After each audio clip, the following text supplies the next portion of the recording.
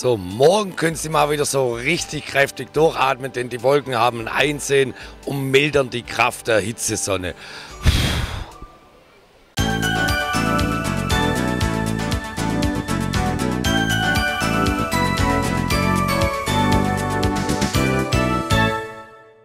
Der Montag startet mit 20 bis 25 Grad mit Wolken und immer wieder etwas Sonne.